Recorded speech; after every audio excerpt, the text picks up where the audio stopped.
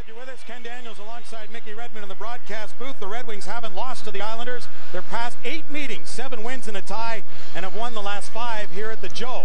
Our Chrysler Jeep Superstore netminders, 24-year-old Rick DiPietro selected first overall in 2000, first goalie to go first, appearing in his 21st game. He was backup for the Islanders last two, and as we mentioned off the top, starting his third straight National Hockey League game, Jimmy Howard. Into the Islanders captain Yashin, and a save made with the left pad by Howard. Another shot, they score from a weird angle. Yashin beat Howard from practically the goal line, and it's a 1-1 tie. Well, it goes to show you, you got nothing else to do with it. Throw it to the front of the net. Jim Howard still doesn't know how this shot went in, but it hit him on the inside of the pad and banked back with backspin into the net. And Alexei Yashin, who we talked about on the top of the show, gets his 12th goal of the year.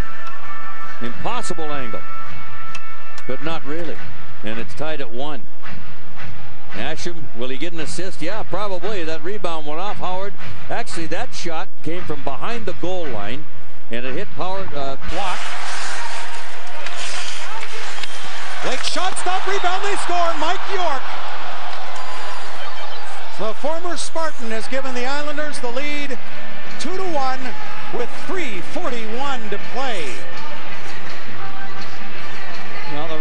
got into a difficult situation off the faceoff, Ken, on the short side here. And there was some confusion on where to go.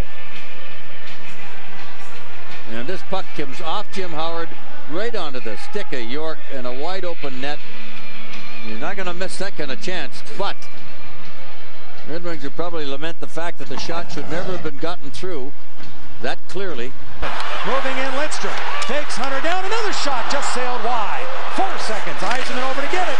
In front penalty coming, but it won't matter. This game is over. The New York Islanders win at Joe Louis Arena for the first time since the 97-98 season. They'd been 0-5, and they come up with a victory despite being outshot, Mick, 36-28. Well, it was a good road game for the Islanders after 40 minutes. We pointed that out. Red Wings had a very good first period, but couldn't seem to get it back on track after that, and it became